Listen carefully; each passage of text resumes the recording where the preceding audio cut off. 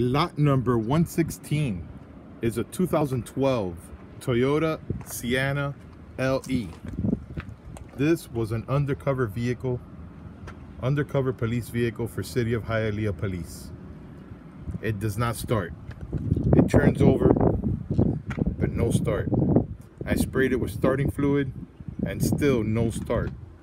It appears to not have any spark. It may be missing fuses and relays. It may have a bad coil, coil pack.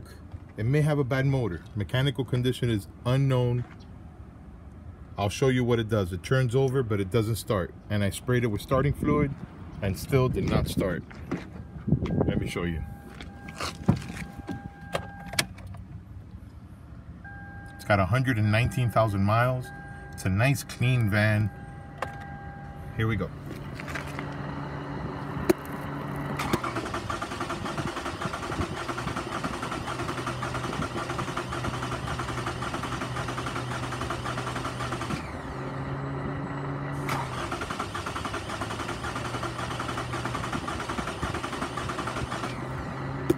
That's all it does. Even after spraying it with starting fluid, it didn't change a bit it's steady. Just turns over does not start. Looks good. It's a good looking van. The motor appears to be complete. I'm wondering if we're just missing fuses and relays or if there's a bigger problem.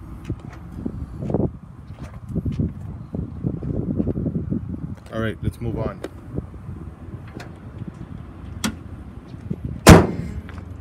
The headlights look dull. The van looks good. The paint is still nice.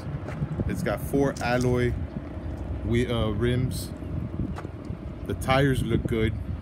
It's got very minor dings and dents, just normal wear and tear. It's got nice tinted windows. The tires look good. All the doors open and close as they should. I didn't see any rust anywhere along this vehicle.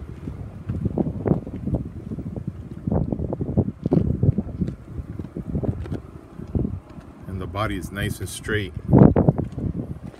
There's a dent right here. Not a big deal. It's a good looking van. And it's got relatively low miles, 120,000 miles for a Toyota. It's not too bad. Let me show you inside. The seats look good. The interior looks dirty. It shows normal wear and tear.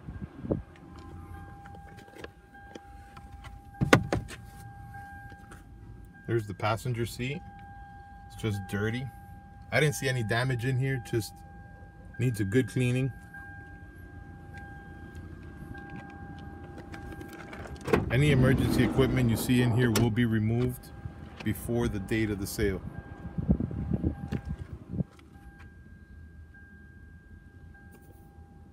It's got three rows and all three rows look good. Headliner's nice, it's got dual AC. good looking minivan. Unfortunately, mechanical condition is unknown. So there you have it. Lot number 116. 2012 Toyota Sienna LE. Good luck.